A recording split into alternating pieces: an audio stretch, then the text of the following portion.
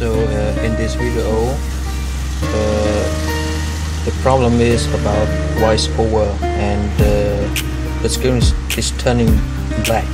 So the way to solve this, you need to use your three fingers and double tap.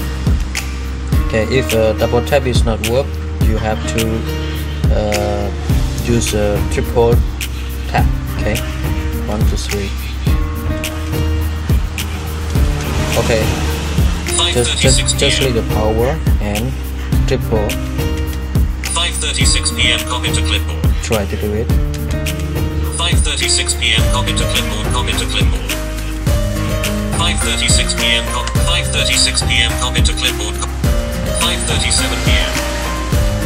5:37 p.m. Copy to clipboard. Screen curtain off.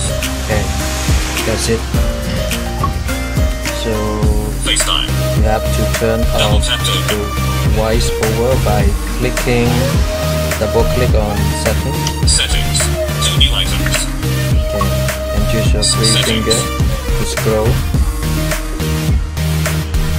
Settings. Heading.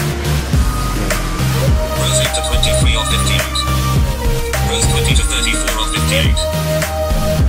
Rows 8 to 23 or general. Click on Button.